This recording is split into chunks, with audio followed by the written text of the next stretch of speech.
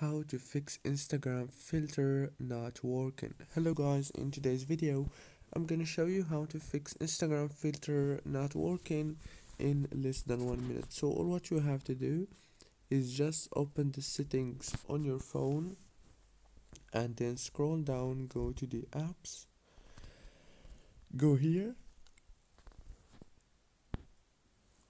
and then wait a few seconds and after it show you this page right here scroll down until you find Instagram.